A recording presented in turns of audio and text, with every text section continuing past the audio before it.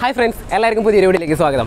ഇന്ന് നമ്മൾ ചെയ്യാൻ പോകുന്നത് രണ്ടായിരത്തി ഇരുപത് ബി എസ് സിക്സ് യൂണിക്കോണും രണ്ടായിരത്തി ഇരുപത്തിരണ്ട് ബി എസ് സിക്സ് യൂണിക്കോണിന്റെയും ഒരു ഡീറ്റെയിൽഡ് ആയിട്ട് ഒരു കമ്പാരിസൺ ആണ്.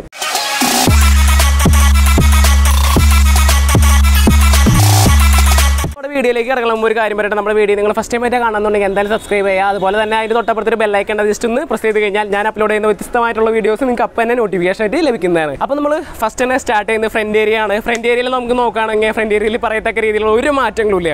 നമ്മുടെ ഹെഡ് ലൈറ്റിന്റെ ഒരു ഏരിയയോ അല്ലെങ്കിൽ ബ്രേക്ക് ലിവറിന്റെ അവിടെയോ അല്ലെങ്കിൽ സ്വിച്ചിന്റെ അവിടെ അവിടെ ഒന്നും ഒരു മാറ്റങ്ങളും ഇല്ല. ഹെഡ്ലൈറ്റ് നമ്മുടെ പഴയ മുപ്പത്തഞ്ച് വാട്ട് മുപ്പത്തഞ്ചിന്റെ തന്നെ ഹെഡ് ലൈറ്റിന് വരണേ. ഡിസ്ക് ബ്രേക്ക് നോക്കണമെങ്കിൽ ടു ഫോർട്ടി എം എമ്മിന്റെ ഡിസ്ക് ബ്രേക്ക് കഴിഞ്ഞ് വരണേ.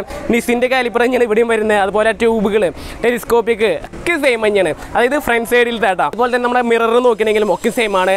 മീറ്റർ കൺസോൾ അത് സെയിം ആണ്. അതുപോലെ ഫ്യൂൽ ടാങ്കിന്റെ കപ്പാസിറ്റി എഞ്ചിന്റെത് എല്ലാം സെയിം ആണ്. പിന്നെ എവിടെയാണ് മാറ്റങ്ങൾ വന്നേക്കണേ?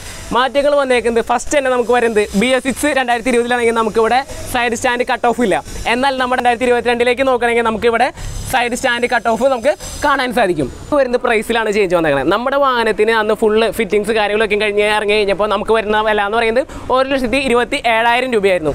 പക്ഷേ ഇന്ന് നമ്മുടെ ഈ ഒരു പുതിയ ബി എസ് സിക്സ് രണ്ടായിരത്തി ഇരുപത്തിരണ്ട് യൂണിക്കോൺ ഓൺ റോഡ് പ്രൈസ് എന്ന് പറയുന്നത് എക്സ്ട്രാ ഫിറ്റിങ്സ് ഒന്നും ഇല്ലാണ്ട് ഒരു ലക്ഷത്തി മുപ്പത്തി നാലായിരം രൂപ ആയിട്ടുണ്ട്. അപ്പോൾ രണ്ടാമത്തെ കമ്പാരിസൺ അവിടെ കാണാം. ഇനി മൂന്നാമത്തെ കമ്പാരിസൺ എനിക്ക് തോന്നിയത്. നമ്മുടെ വാഹനത്തിനേക്കാളും കുറച്ചും കൂടി റിഫൈൻഡ് ആയിട്ടുള്ള ഒരു എഞ്ചിനാണ് എനിക്ക് ഇവിടെ കിട്ടിയേക്കണത് എനിക്ക് തോന്നുന്നു. കാരണം വണ്ടി ഓടിക്കുന്ന സമയത്തേക്കും വളരെ നല്ല സ്മൂത്ത് ആയിട്ടും അതുപോലെ തന്നെ കുറച്ചും കൂടി സൗണ്ട് കുറഞ്ഞ രീതിയിലാണ് എനിക്ക് ഫീൽ ചെയ്യണേ. കാരണം എന്റെ വണ്ടിയിൽ ഉണ്ടാവുന്ന സൗണ്ട് എനിക്ക് നന്നായിട്ട് അറിയാം. പക്ഷേ എന്റെ വണ്ടി ഓടിച്ച് കഴിഞ്ഞിട്ട് ഇത് ഓടിക്കുമ്പോൾ കുറച്ചും കൂടി ഒരു റിഫൈൻഡ് ആയിട്ടുള്ള ഒരു എഞ്ചിൻ വന്നിട്ടുണ്ട് എന്ന് എനിക്ക് തോന്നുന്നു. നാലാമത്തെ കമ്പാരിസൺ എന്ന് പറയുന്നത് നമുക്ക് എക്സ്റ്റേണൽ ആയിട്ട് നമുക്ക് കണ്ണുകൊണ്ട് കാണാം. പക്ഷേ ഈ വണ്ടി അഴിക്കേണ്ടി വരും. അല്ലാണ്ട് നമുക്ക് കാണാൻ പറ്റില്ല.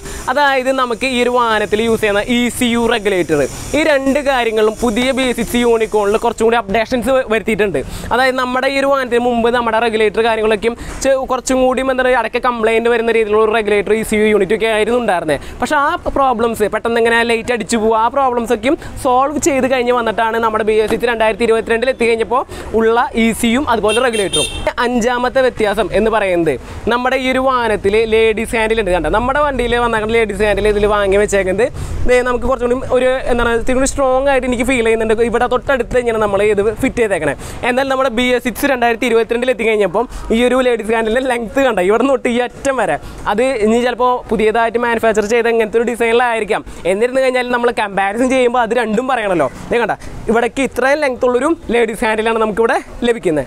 ആറാമത്തെ കാര്യം എന്ന് പറയുന്നത് പറയണോ എന്നുള്ളൊരു ക്വസ്റ്റ്യൻ ഉണ്ടായിരുന്നു എന്നാലും നമ്മൾ പറയണം. ഡീറ്റെയിൽ ആയിട്ടുള്ള കമ്പാരിസൺ അല്ലേ? ടയറിനെ കുറിച്ചാണ് നമുക്ക് രണ്ടായിരത്തി ഇരുപതിൽ നമുക്ക് ടി വി എസിന്റെ ടയറാണ് നമുക്ക് നമ്മുടെ ഈ ഒരു യൂണിക്കോണിൽ കിട്ടിയത് എന്നാൽ നമുക്ക് ഇപ്പോൾ കിട്ടിയതെന്ന് പറയുന്നത് ബി എസ് സിക്സ് രണ്ടായിരത്തി ഇരുപത്തിരണ്ടിൽ കിട്ടിയേക്കുന്നത് നമുക്ക് ടയർ എന്ന് പറയുന്നത് എം ആർ എഫിന്റെ ടയറാണ് പിന്നെ ട്രെഡ് പാറ്റേണിൽ ചെറിയൊരു വ്യത്യാസമുണ്ട്. നിങ്ങൾക്കറിയാം ഏത് വണ്ടിയുടെ ഏത് ടയറിനായിരിക്കും കുറച്ചും കൂടിയും ക്വാളിറ്റി ഉണ്ടാവുക എന്നുള്ളത്. അത് നിങ്ങൾക്ക് വിട്ടേക്കാണ് നമുക്ക് നമ്മുടെ പുതിയ ബി എസ് സിക്സ് രണ്ടായിരത്തി ഇരുപത്തിരണ്ട് യൂണിക്കോണ്ട സൗണ്ട് ഒന്ന് നമുക്ക് കേൾക്കാം. അപ്പോൾ ജസ്റ്റ് കീ ഒന്ന് ഓണാക്കണ് എഞ്ചിൻ സ്വിച്ച് ഒന്ന് ഓണാക്കി സെൽഫ് അടിച്ചു. നമ്മുടെ പുതിയ ബി എസ് സി യൂണിക്കോണിന്റെ ആ ഒരു സൗണ്ട് എന്റെ വണ്ടീനെ വെച്ച് കഴിഞ്ഞിട്ട് കമ്പയർ ചെയ്യുന്ന സമയത്ത് കുറച്ചും കൂടി സ്മൂത്ത് ആയിട്ടില്ലേ എന്നൊരു ക്വസ്റ്റ്യൻ മാർക്ക് ഉണ്ട്.